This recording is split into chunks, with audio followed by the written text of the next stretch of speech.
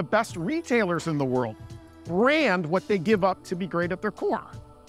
For example, you Costco fans? Wow. I, did, I was not expecting that kind of cheer for it. So Costco's the same way. My stepdaughter was having a birthday party and I had to buy all the provisions. And she, could you get like a vegetable tray and like a fruit tray? Don't forget the ranch dressing. She could swim. She loves ranch dressing on everything. It's almost crazy. But where do you think you have to go buy in bulk? Costco.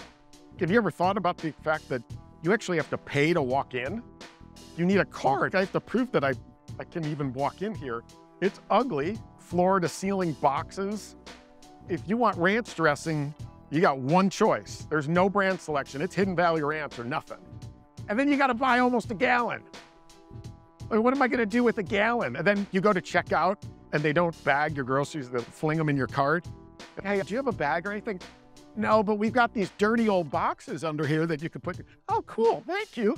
And then as you walk out, there's a woman at the door checking your receipt to make sure you didn't steal anything.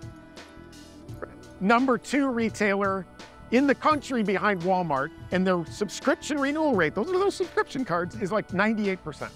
The only people that don't resubscribe are like dead. Who are these people? Who doesn't resubscribe to Costco? They embrace this idea. If I needed toothbrushes, like, hey, here's a half dozen. Oh, but anyway. All of our businesses give up something to be great at their core and lead with it. Start to brand as people come in, expectations are consistently met and they stay and they buy more and they advocate. With that cheer for Costco, that tells you that they're doing something right and there's a lot wrong about it when you really peel it back.